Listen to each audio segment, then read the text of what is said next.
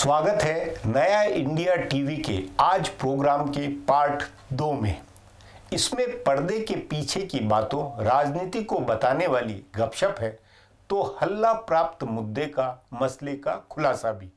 सो सुने और पाएँ बेबाक, बेधड़क जानकारी वह सोचें कि क्या सही है और क्या गलत। पहले सुने आज की गपशप। उसे समर्थन मांग रहे हैं। उन्होंने डीए के कार्यकारी अध्यक्ष एम के स्टालिन से संपर्क किया। बताया जा रहा है कि स्टालिन उनका समर्थन हैं दक्षिण भारत की दूसरी पार्टियों में टीआरएस का समर्थन उठेगा और जेडीएस वही कदम उठाएगी कांग्रेस चाहेगी। अब सवाल है कि कांग्रेस और लेफ़्ट इसका समर्थन करेंगे या नहीं। दोनों पार्टियों के लिए खुलकर विशेष के दर्जे के मुद्दे पर समर्थन करना मुश्किल होगा। भीड़ द्वारा हत्या आदि मुद्दों को लेकर ये पार्टियाँ भी फिर से विश्वास प्रस्ताव पेश करें।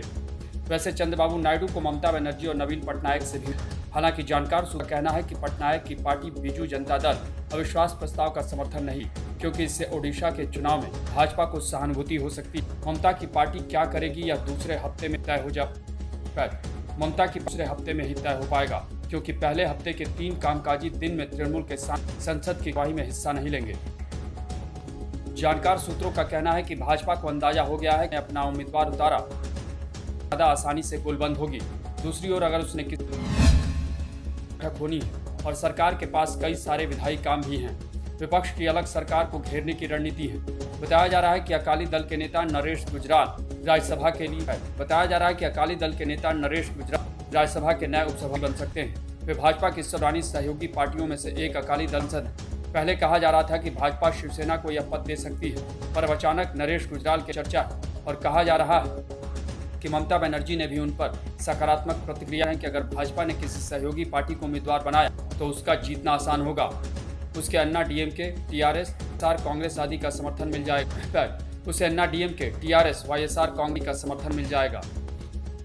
थ्री, भाजपा की उतारने की जिद छोड़ और किसी सहयोगी पार्टी उम्मीदवार बनाने भाजपा की तरफ़ कांग्रेस उम्मीदवार बनाने पर विचार कर रही है। उसे भी लग रहा है कि सहयोगी पार्टी का उम्मीदवार भाजपा या उसकी सहयोगी पार्टी के उम्मीदवार आ सकता है। इस लिहाज से तृणमूल कांग्रेस, राष्ट्रवादी कांग्रेस पार्टी के उम्मीदवार पर विचार चल रहा है। ममता बनर्जी की पार्टी तृणमूल कांग्रेस के नेता सुखेंदु शेखर रॉय के नाम की सबसे चर्चा है। बताया जा रहा है कि सोमवार को गुलाम आज़ाद के संसद भवन के ऑफ़िस हुई विपक्षी पार्टियों के नेताओं की बैठक में इस बार विचार हुआ। रॉय के नाम की ओर से इस बैठक में वे ही शामिल हुए थे। एनसीपी के मामले में मुश्किल यह है कि उसके चार ही सांसद राज्यसभा में, जिनमें एक शरद पवार, दूसरे प्रफुल्ल पटेल। इनके अलावा माजिद मेमन और वंदना चौहान, पवार और पटेल उपसभापति बनेंगे। बाकी दोनों के नाम पर विपक्षी पार्टियाँ राज़ी नहीं हुई। सो ज़्यादा सम... हाल फ़िलहाल की सुर्खियों में, बहस में, जिस बात ने आपके जहन में पेठ बनाई है, उसका भला क्या मतलब है? और क्या है उसका और छोर?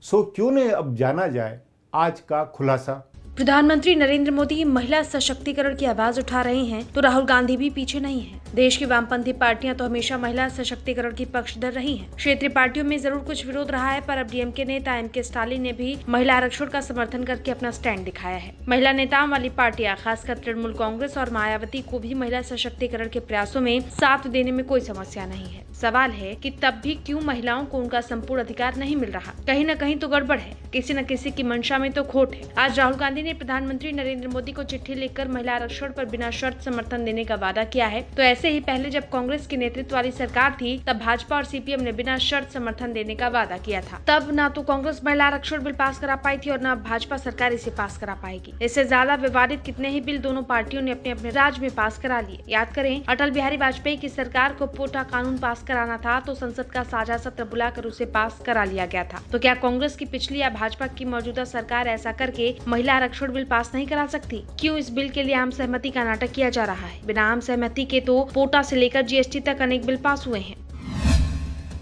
महिला सशक्तिकरण की दिशा में महिला आरक्षण को सबसे बड़ा कदम माना जाता है। संसद और राज्यों की विधानसभाओं में महिलाओं को तैतीस फ़ीसदी आरक्षण देने का विधेयक करीब 20 साल से चर्चा में है। इसके बाद कई राज्यों में स्थानीय निकायों में महिलाओं को 50 फ़ीसदी आरक्षण मिल गया। शुरुआती गड़बड़ियों के बाद अब स्थानीय निकायों में चुनी गई महिलाएँ अपने पतियों या परिवार के पुरुषों की छाया से बाहर निकलने लगी है और स्वतंत्र रूप से अच्छा काम करने लगी है। पर संसद और विधानसभा में उनको तैतीस फ़ीसदी आरक्षण देने के लायक अभी तक नहीं समझा गया। राजद, जदयू और सपा के सांसदों की संख्या कभी भी इतनी नहीं रही की वो संसद की कार्यवाही को अपने हिसाब से चला सके। पर इन तीन पार्टियों के नेताओं के विरोध की वजह से कांग्रेस ने 10 साल के राज में इस विधेयक को पास नहीं कराया। ज़ाहिर है कि कांग्रेस और भाजपा दोनों की मंशा साफ़ नहीं है। ऊपर से अब दोनों पार्टियों ने महिला सशक्तिकरण को एक दूसरे के साथ सौदेबाजी का हथियार बना लिया है।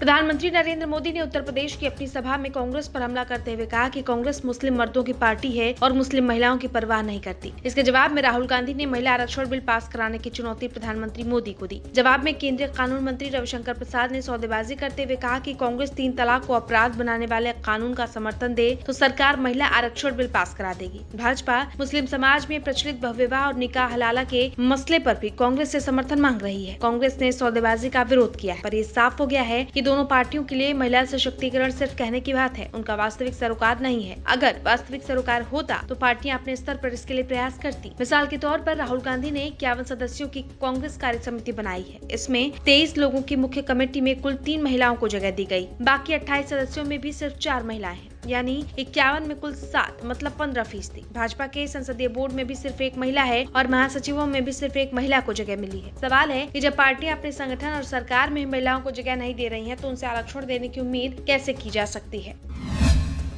कुल मिलाकर देश की सारी पार्टियाँ सिर्फ़ महिला सशक्तिकरण की बातें करती हैं। वास्तव में महिलाओं को सशक्त बनाने का उनका इरादा नहीं होता। दुर्भाग्य की बात यह है कि पार्टियों में जितनी महिलाएँ नेता हैं, वो भी खुद को अपने नेतृत्व से अनुग्रहित हुआ मानती है। उनको लगता है कि उन्हें जगह देकर नेतृत्व ने उनको उपकृत किया है, इसलिए वो अपनी पार्टी के मंच पर आवाज़ नहीं उठा पाती। जिन पार्टियों में महिलाएँ महत्वपूर्ण है, जैसे कांग्रेस, तृणमूल कांग्रेस और बसपा, वहाँ भी पुरुष नेता जातियों का समीकरण समझाकर उनको आगे बढ़ने से रोकते रहे हैं। आरक्षण के भीतर आरक्षण का शिगुफा छोड़कर भी पार्टियों ने महिलाओं को राजनीति राजनीति में आगे बढ़ने से रोकने का सफल दांव चला है। ऐसे महिलाएँ दूसरे और समान प्रतिस्पर्धा वाले क्षेत्रों में आगे बढ़ रही हैं, पर राजनीति में स्वतंत्र रूप से उनकी सफलता संदिग्ध है, क्योंकि वहाँ प्रतिस्पर्धा समान नहीं होती।